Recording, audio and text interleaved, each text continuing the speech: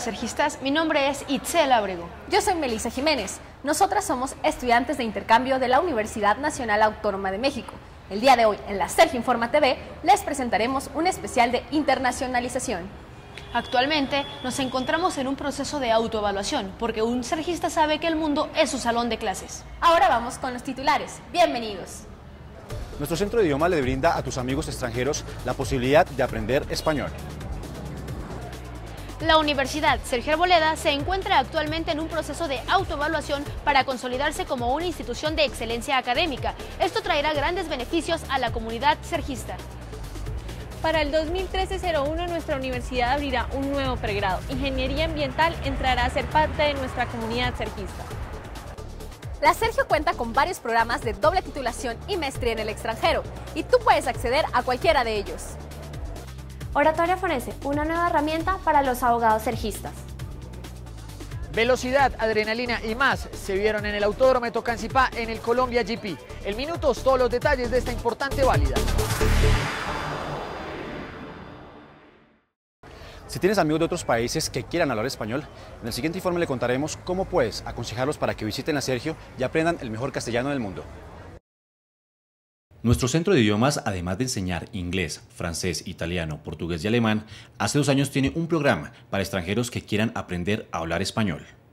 Este, soy voluntaria y mm, profesora de coreano. Todo es muy bueno para mí mm, y especialmente muchos colombianos muy amables. Nuestra institución ha venido trabajando por la internacionalización académica, ya que entiende que en el siglo XXI el mundo debe estar en el salón de clases. Tenemos estudiantes que vienen de diferentes nacionalidades, canadienses, americanos, franceses, y hemos firmado algunos convenios con entidades y fundaciones extranjeras. Por ejemplo, hay un, convenio con, la, con una fundación que se llama COICA. Cameron Murray es un canadiense que vino a estudiar a nuestro centro de idiomas español. Ah, estoy estudiando aquí por tres meses el español. yo quiero ah, ah, aprender más de los idiomas Ah, yo quiero trabajar con la comercia de internacional. Los estudiantes coreanos han aprovechado estar en Colombia y han conocido nuestro amplio idioma. Ha sido bastante interesante porque es una cultura muy diferente. De todas maneras tienen un previo estudio del español, pero pues se les dificulta un poco más, pero se han hecho varias actividades para que puedan recibir muy bien el idioma. Igual ellos son muy buenos estudiantes y hacen su mejor esfuerzo. Este espacio que ha abierto la universidad les hará cumplir el sueño de conocer las quijotescas aventuras de Cervantes y las mágicas realidades del coronel Aureliano Buendía en Cien años de soledad nuestro centro de acreditación institucional está desarrollando diversas actividades para fomentar la participación en la comunidad sergista de acuerdo al proceso de autoevaluación. La Sergio Informa TV platicó con el doctor Cristian Díaz, director de este centro, para que nos dé información acerca de cómo se está desarrollando el proceso de autoevaluación en la universidad. La Universidad Sergio Arboleda es una institución educativa preocupada por su calidad académica. Por esta razón, creó el Departamento de Autoevaluación y Acreditación Institucional, el cual se encarga de generar procesos de autocrítica de las actividades que desempeña la universidad. El proceso de autoevaluación en la Universidad Sergio Arboleda consiste en verificar cada uno de los aspectos institucionales con el fin de establecer las fortalezas y las debilidades en que nos encontramos inmersos. Para difundir dicho proceso, la universidad ha implementado concursos para motivar la participación de la comunidad sergista, quienes participan estando activos en las labores académicas y de bienestar. Gracias a que los profesores pues van a estar más preparados, nosotros vamos a tener ese impulso a sentirnos también seguros de la preparación que estamos recibiendo. Para la acreditación institucional como Universidad de Excelencia Académica, la Sergio está en constante análisis de sus planes, programas, metas y objetivos. Se tiene que estar capacitándose continuamente. Yo personalmente me estoy capacitando, estoy haciendo diplomados, cursos, todo con el fin de que de fortalecer el proceso educativo y el proceso de formación de los muchachos. Contar con programas académicos actuales, dinámicos e internacionales brinda un panorama sobre los aspectos a mejorar en las gestiones académicas y administrativas. Los beneficios son propiamente para los estudiantes y para toda la comunidad académica, puesto que eh, una vez revisados todos los aspectos, pues lo que pretendemos es mejorar la calidad en cada uno de ellos. Así, los alumnos contarán con la capacidad profesional para cursar programas de posgrado. Uno tiende a pensar que puede mejorar su carrera y lo que la carrera le aporta a la universidad y lo que la universidad con su carrera le aporta a la sociedad. Y eso uno cuando es crítico y dice necesitamos mejores profesores, mejores laboratorios, mejores contenidos, uno mejora a partir de eso. Con todo esto, la universidad y sus programas serán reconocidos por su alta calidad a nivel nacional e internacional. Ingeniería Ambiental es el nuevo pregrado que se abrió en nuestra universidad. Gracias a la Escuela de Ingeniería, las inscripciones para el 2013-01 ya están abiertas. Ingeniería Ambiental es el nuevo pregrado que se abrirá el próximo año en la universidad. Adriana Cuevas, directora del programa, nos cuenta los factores que hacen diferentes a esta nueva carrera sergista. Esencialmente se caracteriza por cinco aspectos. El primero es porque va a tener un fuerte en modelación ambiental. Nuestros ingenieros van a saber interpretar y comprender los fenómenos ambientales. Por otro lado, queremos hacer un fuerte en el tema de ecoinnovación, diseño de ecotecnología de última generación. Igualmente nuestros ingenieros, a diferencia de los demás, van a trabajar el tema de aplicaciones geoespaciales, es decir, interpretación de imágenes satelitales para toma de decisiones ambientales. Tener gusto por la ecoinnovación y el emprendimiento de negocios verdes son los requisitos para poder ingresar a este programa. Para más información, llamar al 325-8181 o visitar la página de nuestra universidad usergioarboleda.edu.co. ¿Sabías que la Universidad Sergio Arboleda tiene convenios con universidades en todo el mundo donde tú puedes estudiar un semestre de intercambio en el extranjero? La Universidad Sergio Arboleda ofrece programas para que sus alumnos tengan la oportunidad de estudiar en el extranjero. El departamento encargado de realizar los convenios con las diferentes universidades es la Oficina de Relaciones Internacionales.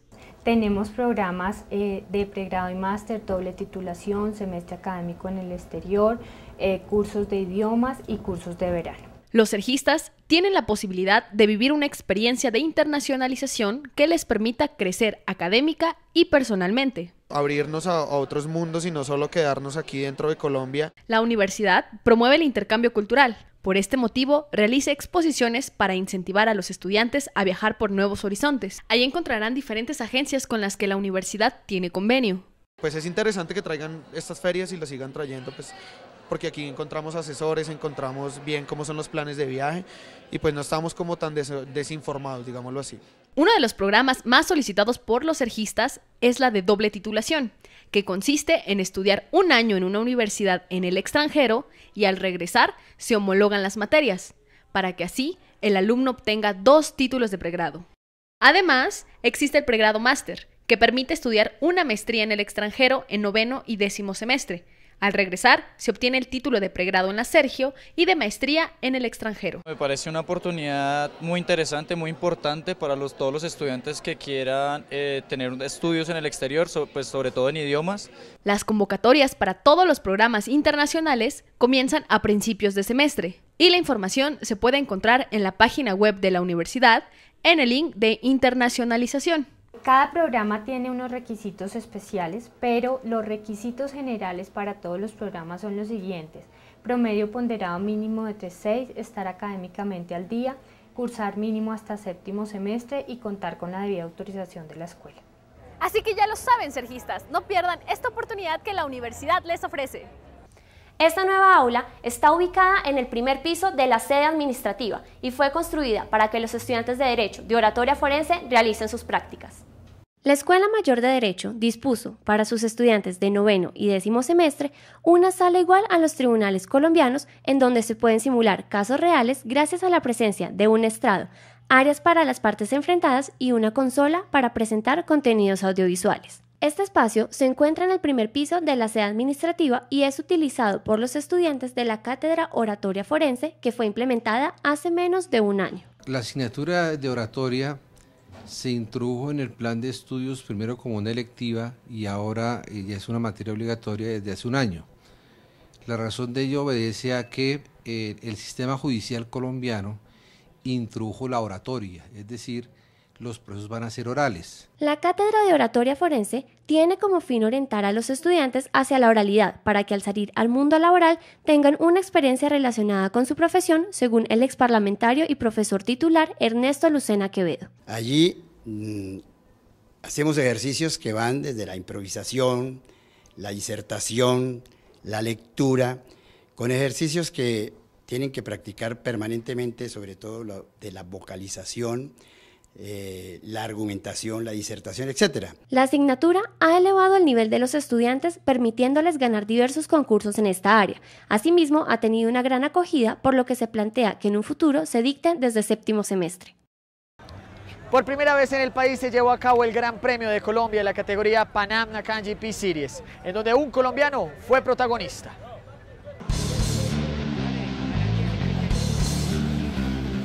El Gran Premio de Colombia, válida de la categoría Panam GP Series, se llevó a cabo en el Autódromo Internacional de Tocancipá, donde pilotos de toda América Latina corrieron por el trofeo de esta carrera, que es considerada la Fórmula 1 latinoamericana.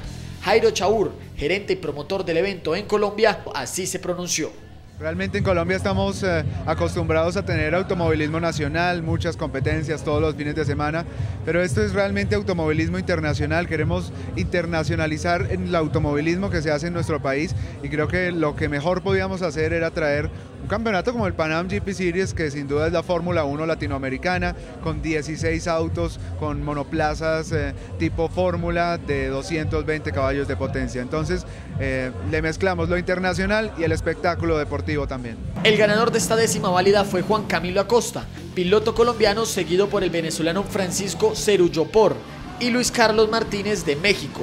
Alfonso Toledano, director general del Cirial Panam GP Series, sobre esta carrera así se refirió. Eh, primero que nada es invitarlos a que vuelvan a tomar la afición y que la idea es que tengamos más pilotos colombianos, tanto en el próximo Gran Premio como en el campeonato del próximo año. La sorpresa de la carrera y de la categoría es la costarricense Verónica Valverde, que con solo 16 años ya corre en un auto a 250 kilómetros por hora. Siempre me ha gustado correr y la velocidad, pero sí, siempre saco tiempo para hacer otras cosas. Yo estudio desde el colegio, eh, saco buenas notas, eh, ando con mis amigas y todo. La Sergio Informa TV tuvo la oportunidad de recorrer en un biplaza la pista del autódromo de Tocancipá a 200 kilómetros por hora. La mejor fórmula de terminar el Colombia GP es vivirlo en un biplaza.